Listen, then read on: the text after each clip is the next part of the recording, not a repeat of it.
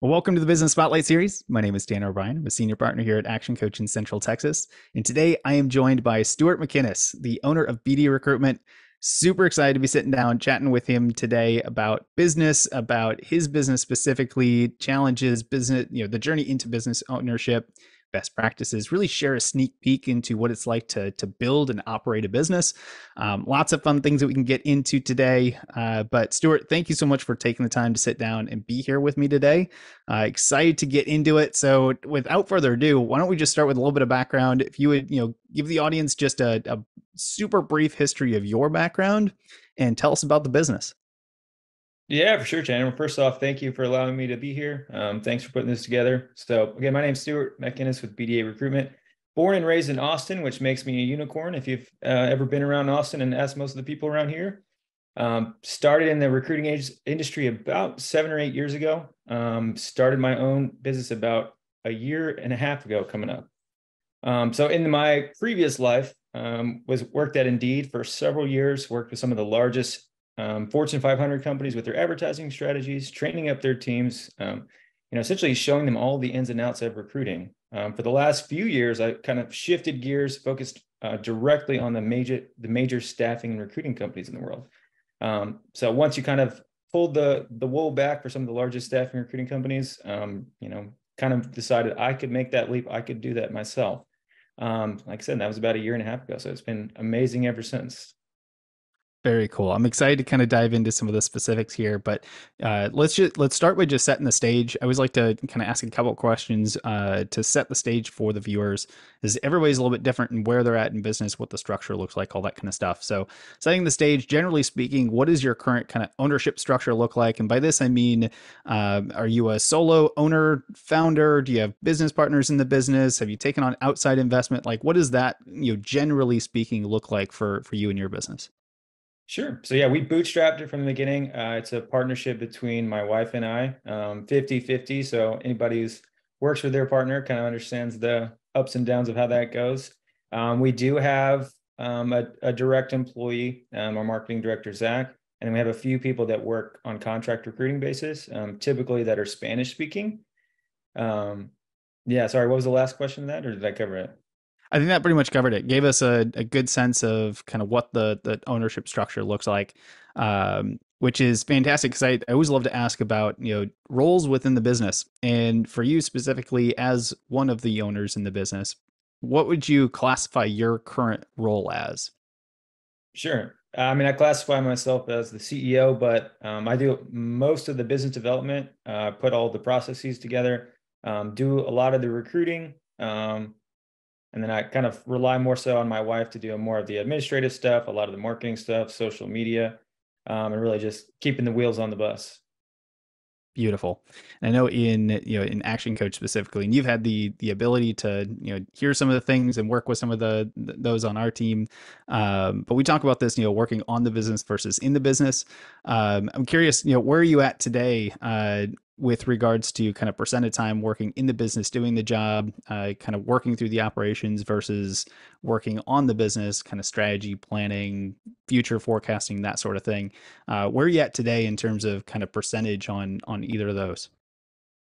For sure, and certainly as um, at the beginning stage of my business, a lot more working on the business rather than in the business. So I'd say right now I'm probably in the 90 10 um, on versus in. So trying to get more so working in the business, uh, sorry, working on the business, um, doing a lot more stuff, you know, in terms of marketing, lead aggregation, trying to kind of take that to the next level, putting the processes in place to kind of continue to fuel the growth. Um, so we've got pretty aggressive plans here in the next few years. So I think I'm excited about Action Coach and, and kind of putting all this stuff and help us um, dial it in a little better.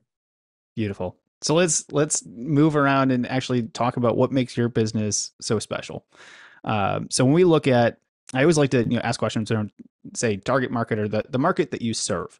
Um, best way I know how to ask this question is if I'm in the audience and I'm watching this video, how do I know that I'm a good fit or I might know somebody who's a good fit for the services that you provide? For sure. So we are pretty uh, diverse in the terms of industries we serve. Um, I would say the biggest and best, um, I guess, need that we serve is people struggling to find and attract great talent.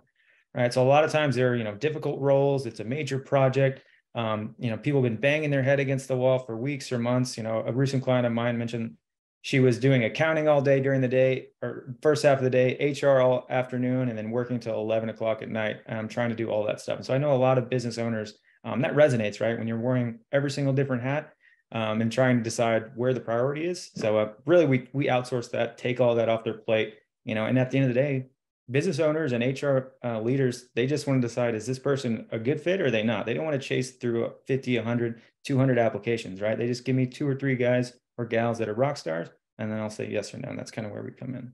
Sweet. So when we, I know there's other you know recruiting businesses and firms and things like that out there. Uh, what makes uh, what makes you all a little bit different? Why do your clients choose to work with you over any of your competitors? For sure. Um, definitely our knowledge, right? Our scope, our network. So we're very aggressive with advertising. So again, I mentioned I worked with some of the largest staffing recruiting companies in the world and kind of seeing what they did. They really didn't take every job in every company, um, you know, I don't want to say serious, but they didn't take it to the level that it needed to be to be successful across the board, right? So when we partner up, we are extremely aggressive with our sourcing efforts, with our advertising efforts. We go out and find every person that matches what you're looking for and put a message in their inbox. So a lot of times, you know, that instead of saying like, we'll do what it takes to get it done, most of these customers will say, well, this is the resources we have available for this customer for this job. Um, so we just don't think that way. In addition to that, we obviously have the you know, retainer, no upfront cost, which is pretty unusual in this industry. And then of course, every job includes a 30 to 90 day, no questions asked replacement guarantee. Very nice. I love that. Um, so I, you know, because we're kind of on the topic of workforce, and that's the the area that that y'all work in. Um, you know, I always I always like to ask a couple questions about just building team in general, and this may be specific to your business as you continue to to look forward into the future, or it may be you know what you're uh, how you work through with some of the clients you work with. Um, but what is the approach to hiring and retaining team members today? Is it different than it has been the last couple years?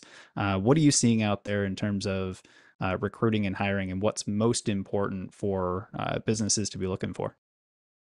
For sure. I mean, everybody today is laser focused on wages. Um, that's always the number one reason candidates go from job to job is they're trying to look for more, for bigger opportunity, for bigger paychecks. And from my standpoint, I think that's totally fair. Um, but there are a ton of opportunities to make sure that we retain them. Um, so a lot of the tricks obviously are benefits. That's probably no secret, um, but it's how you structure those benefits, right? So one of the kind of tricks to the trade is, you know, have a three to five year vesting period for all 401k with a really aggressive match. Um, so for example, especially for some of the the more lower level jobs where they have a tendency to bounce around, if they don't get access to, you know, 25, 50, $100,000 for several, several years, they're a lot more likely to stay around and, and see that vest rather than, well, I can make two more dollars or 50 more cents an hour down the road. Well, they got a much more vested interest. In addition to that is, you know, everybody wants to feel some level of ownership, right? Where they're driving the business. And I think making sure that it's a very team feel and everybody has a say and kind of taking it that next level, everybody has some sense of ownership um, I think that's you know the most important part in today's day and age. And then again, we partner up with some people around town um, and really focus on their employer branding, right? So again, we want to put videos of your location, of what employee uh, employees are saying, of you know the reviews. We want to get that best foot forward. So again, when somebody goes to Google and they type, "What's it like to work at XYZ company?" We want them to see everything there is to know and be like, "Wow, I absolutely want to work there." Mm.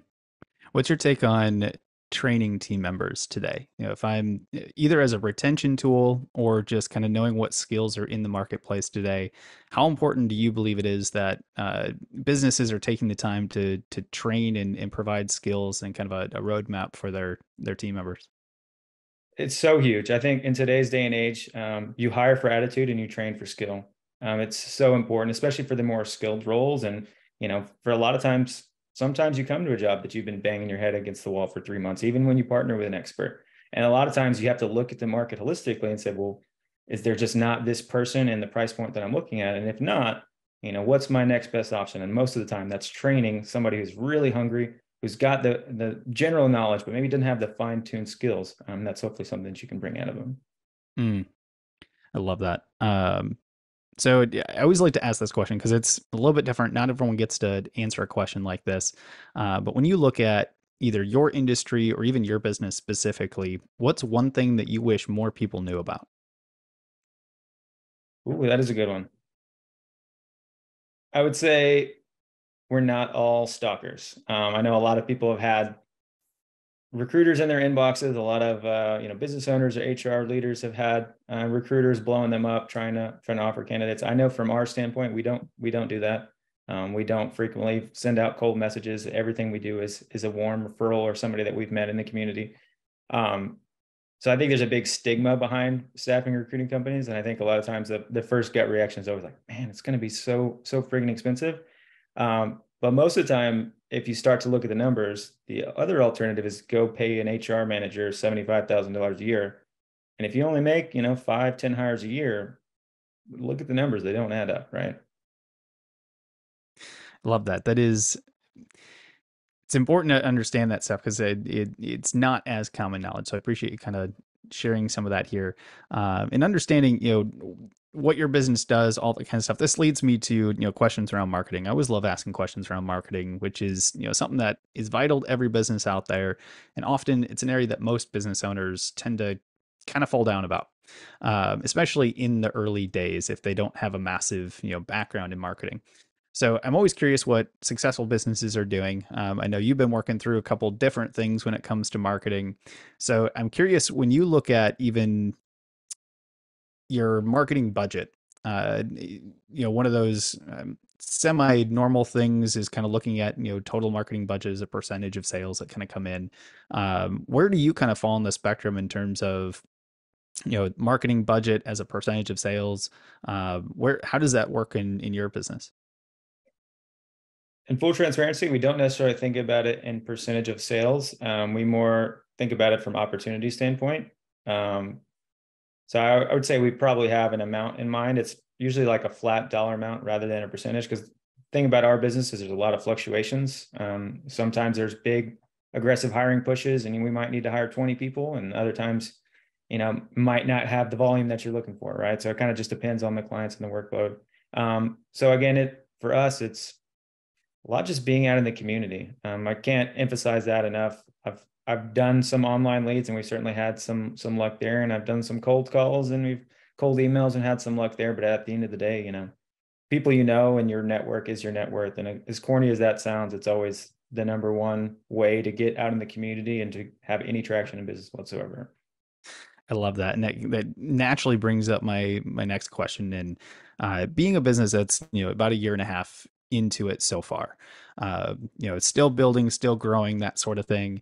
Uh, how many different you know marketing strategies to use currently? So you mentioned some networking, being out in the the network, maybe a, a little bit of kind of cold outreach, that sort of thing. Um, give me a little bit more context on how many different strategies that y'all are currently using uh, and then you know of those which is which are the ones that you've noticed are the most impactful for your business as you continue to grow for sure. I mean, definitely hands down networking is is the front runner. Um, the close rate on that is substantially higher than any any sort of cold leads. The response rates through the roof. Um, in terms of what else we're doing, you know, like I said, we've done some cold outreach through various platforms, cold calls, cold emails, cold LinkedIn reach outs. Um, had some degree of success, but pretty minimal, right? And I'm always the type of person that you know, I certainly want to hear yes a lot more than I hear no. And then if you're going out there doing a lot of cold calls, you're, you're certainly not going to hear more yes and no. You're going to hear a lot more no than yes. Um, not to say that that's not value, um, because we do put some emphasis on that, but that we more so call that whale hunting, where we're going after this huge opportunities rather than, you know, the small and medium business, which is typically our demographic. But uh, yeah, it's probably like four four different avenues um, in terms of like categories, and then on the networking side, you know, there's everything from local networking groups to national networking groups to chamber of commerce and kind of everything under that scale. Beautiful I appreciate that because um, I know that every business has a, a, slightly different direction that they take when it comes to, to marketing. So getting some ideas on different industries, different business owners taking different tracks uh, gives some good context there. So I appreciate you allowing us to go through some of those. Uh, but we've spent a bunch of time talking about kind of the business, sharing a few best practices, things like that. I'd love to take a step back and just kind of dive into the the journey a bit more and getting into business for yourself. Um, so I heard a little bit about it in your your background, but I, I'm curious especially a year and a half ago, made the decision to jump into business for yourself. Had been working for some some bigger companies out there. Um, take us take us through what that journey actually looked like. Uh, how did how did it feel to make that leap from uh, having something that maybe you know is considered more secure out there, and then taking the leap and jumping into business for yourself? Terrifying, absolutely terrifying. Um, it took a lot of prayer and reflection and and thinking about the right decision.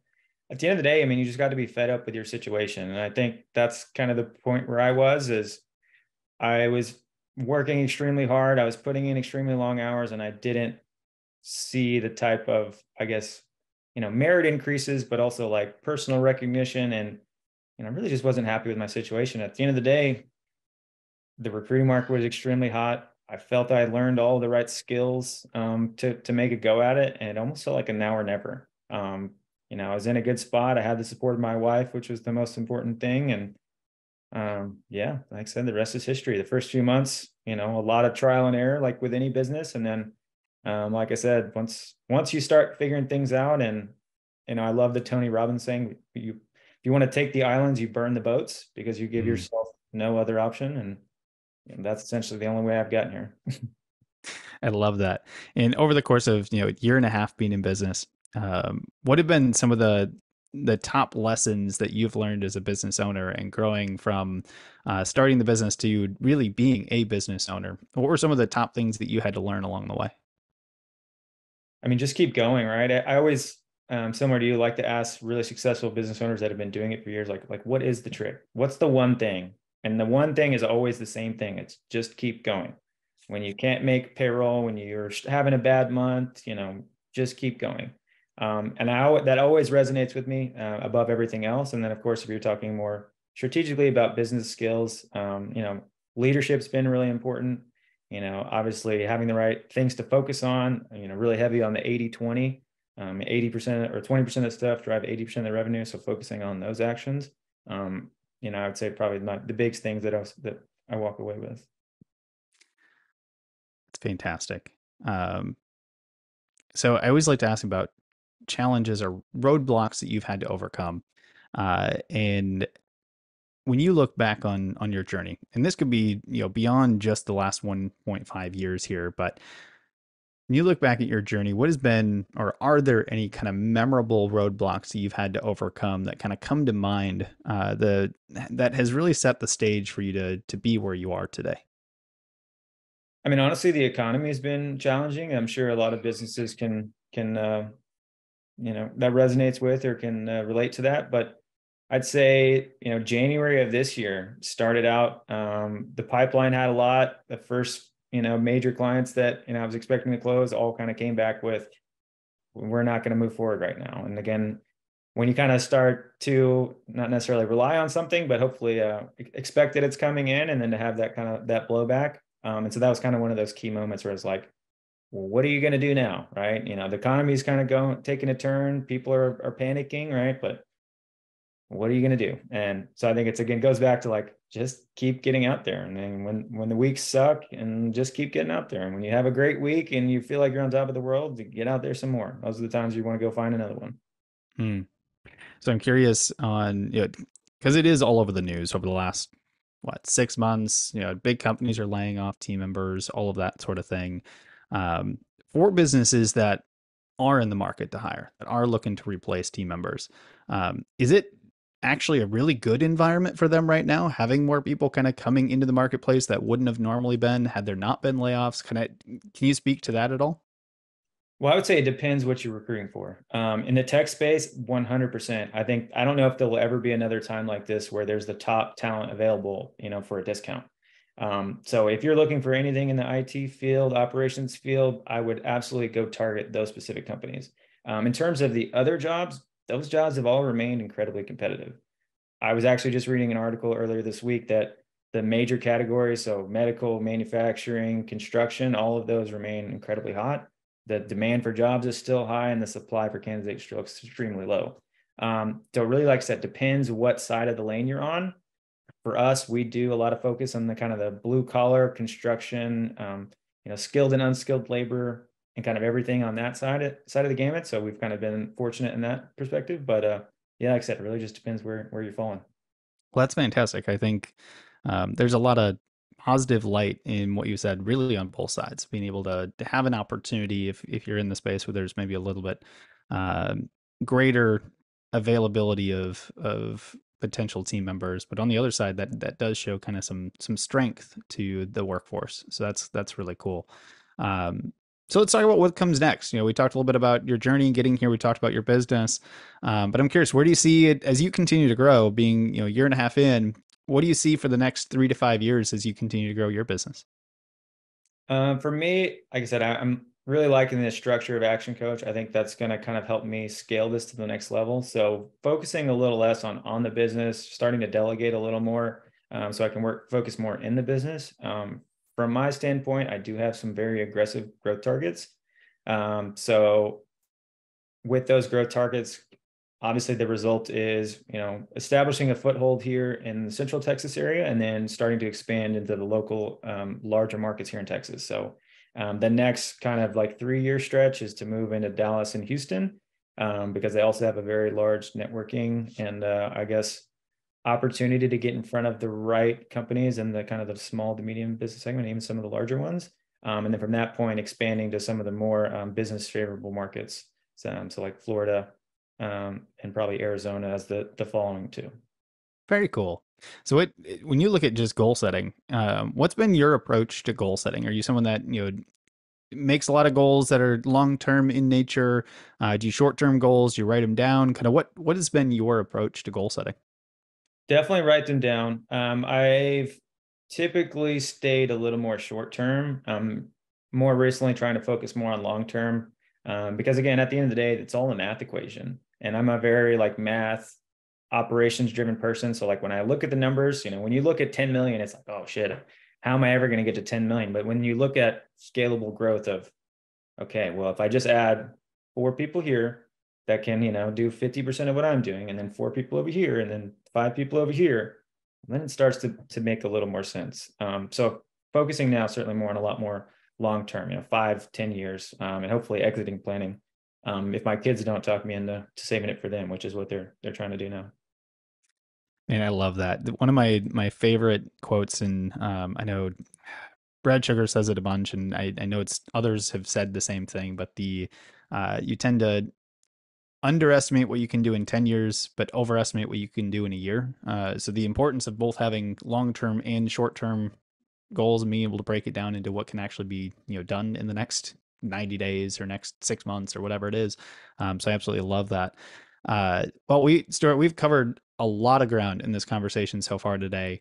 Um, for everyone that is watching, make sure you save this video, come back to it because there's a whole bunch of nuggets that you can pull out here and start using in your own business. Uh, but before we kind of start wrapping this thing out and uh, you know getting into kind of the final question I'd love to ask, uh, I've got kind of a round of rapid fire questions, which are meant to be kind of top of mind answers. I know we could probably sit down and go way more in depth on these if we really wanted to, but for today's purposes, being respectful of time, um, kind of quick responses for each of these. Uh, so I've got about four of them here. You ready for for my rapid fire questions? Hit me. All righty.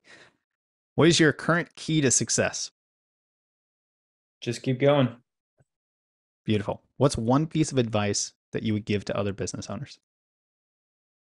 be known in the community and get out there. Hmm. Love that. What's one book that you're either reading right now or have read most recently? $100 million offers. Ooh, that's a good one.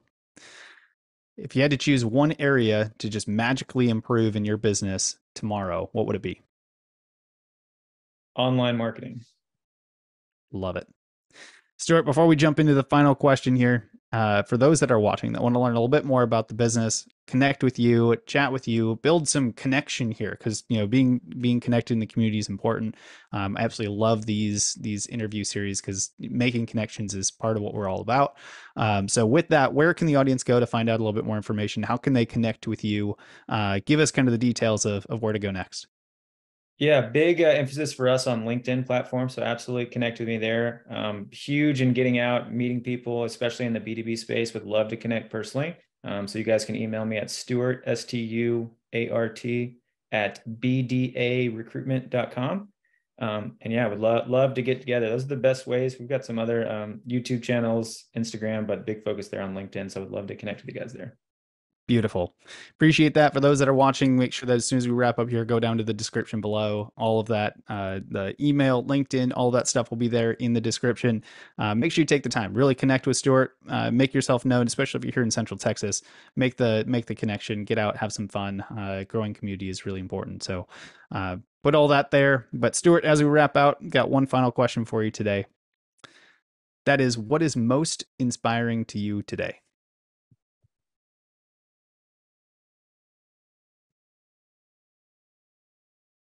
I guess it seems simple, but uh, not having to worry about the cost, right? And it, you know, from a family perspective, you know, I want to be able to buy the airplane ticket and fly across, you know, to the beach, to the Dominican Republic, to Costa Rica.